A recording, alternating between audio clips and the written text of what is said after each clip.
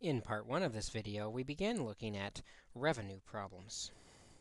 We set up an equation to solve this problem regarding the college students buying a couch for $80.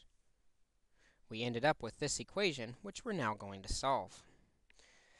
We can solve this rational expression by finding the least common denominator of n times n minus 5 and multiplying each term, including the 8, by n n minus 5.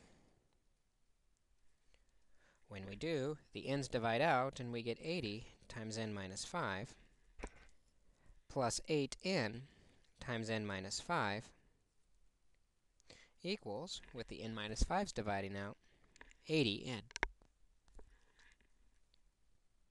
Continuing to solve, we'll distribute through the parentheses, giving us 80n minus 400 plus 8n squared minus 40n equals 80n.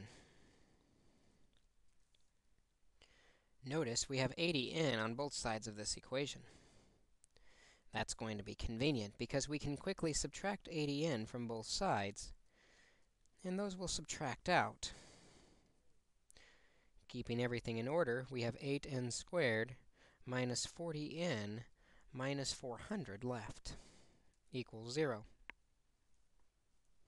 Start by factoring out the greatest common factor of 8 leaves us with n squared minus 5n minus 50 equals 0. We can continue factoring to n minus 10, n plus 5 equals 0. To solve, we simply have to set each factor equal to 0. n minus 10 equals 0, and n plus 5 equals 0. Adding 10 to both sides gives us n equals 10, and subtracting 5 from both sides gives us n equals negative 5. If you recall from the previous video, n represents the number of college students who agreed to buy the couch. We couldn't have a negative number of students, so we have to cross the negative 5 out. There must have been 10 students in the original group. The second problem we set up we had a merchant buying pieces of silk and selling them at a profit. We ended up with this equation, which we can now solve by identifying the least common denominator being n times n minus 2. And we can multiply each term by n, n minus 2, including the 4. When we do this, the n's divide out, and we're left with 70 times n minus 2 plus 4n times n minus 2 equals, the n minus 2's divide out, 88n.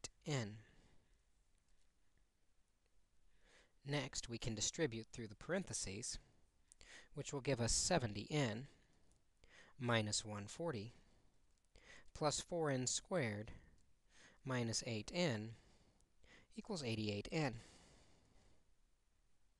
We can combine like terms on the n's and put things in order to get 4n squared plus 62n minus 140 equals 88n.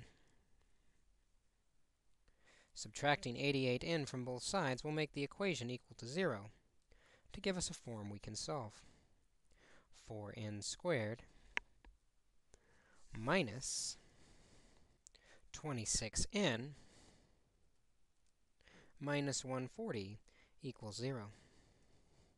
We can now start factoring by pulling out the GCF of 2 to get 2n squared minus 13n minus 70, and either use the quadratic formula or continue factoring to 2n plus 7 times n minus 10 equals 0.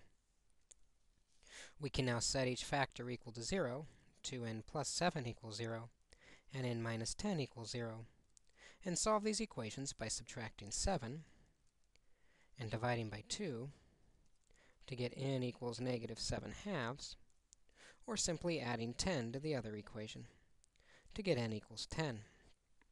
You may remember this is the number of pieces of silk the merchant bought. He couldn't have bought a negative amount, so he must have bought 10 pieces of silk. And this completes the problem.